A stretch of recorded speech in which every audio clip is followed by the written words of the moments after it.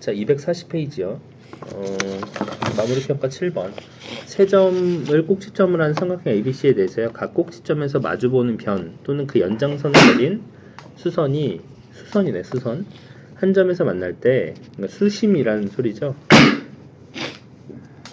수선이 한 점에서 만나니까 수심이에요. 그래서 a 플러스 b의 값을요. 그럼 일단 그림을 그려보자. 2,4 2, 하나 둘 셋 넷. 마이너스 2,2 하나 둘 셋 넷. 6,2 셋 넷 다 여 하나 둘. 그래서 이렇게 형을 그려. 삐뚤었다 이 그래서 ABC에 대해서 연장선에 내린 수선. 그럼 수선은 이렇게 서 수선을 내는 거겠지 이렇게? 그 다음에 얘는 야 모양이 이상한데 이게 내려져? 이상한데? 이렇게? 응. 요 점을 구하는 거죠. 그럼 얘는 어떻게 구해? 그러면 얘는 이 수선은요, 이 직선과 이 직선과 수직인 애잖아, 수직. 그지? 그러면서 여기 한 점을 지나는 거지. 음, 일단 요 직선과 수직이면서 한 점을 지나는 거는 얘 기울기 구하면 되잖아. 뭐만 이제 이거 옛날에 한번 풀었는데 다시 내가 이렇게 이렇게 그었다고 해봐. 그러면 일단 요 직선과 요 직선의 교점을 구하면 우리가 원하는 점을 구할 수 있잖아요. 근데 요 직선이라는 건요. 지금 요 마주보고 있는 대변의 기울기와 수직하고 그 다음에 여기 한 점을 지난 직선이라고 생각하면 되잖아.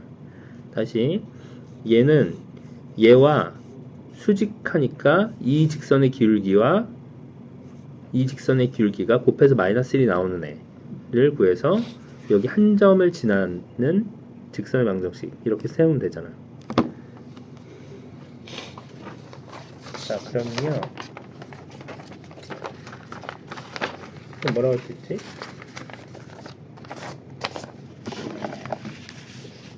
그러면 해보자. 그럼 뭐 얘가 어 2,4 얘가 2, 얘가 2,4죠. 2,4 그러니까 얘가 6, 마이너스 2 그럼 얘들의 기울기는요 6 마이너스 2 마이너스 2 마이너스 4 그러니까 얘는 4분의 4분의 마이너스 6이니까 마이너스 2분의 3이네요. 그러니까 얘와 수직이려면 3분의 2이면 되고요. 그리고 얘와 얘를 지나야 돼 이 점은 마이너스 2,2네. 그래서 x 플러스 2 플러스 2 이렇게 하시면 돼요. 그래서 y는 3분의 2 x 플러스 2 플러스 2라는 직선이 하나 나오고 그 다음에 이번에는 음, 요 직선과 수직이고 2,4를 지나면 되겠죠? 그럼 얘는 기울기는 6 마이너스 2와 마이너스 2,2와의 기울기를 먼저 구해서 6 플러스 2분의 마이너스 2 마이너스 2